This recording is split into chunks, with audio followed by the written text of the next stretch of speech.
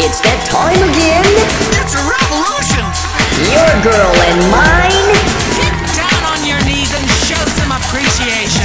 Show some love for Stella. It's a whole new way of life! Stella has a very special guest today. Let's hear it! A man who claims to be the Messiah. I'm Stella Whitley.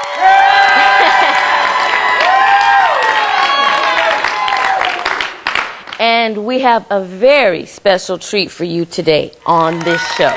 I am the voice of one crying in the wilderness. Make straight the way of the Lord.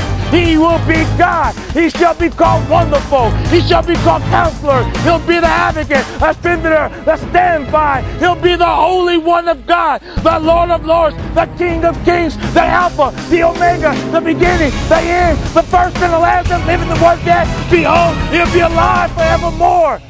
I love you, Stella. I just love your show. Oh they may be spiritual, but I wouldn't call them leaders. They're more like blind hypocrites. How dare you disrespect our spiritual leaders? He got to get out of my seat. Take him out of here.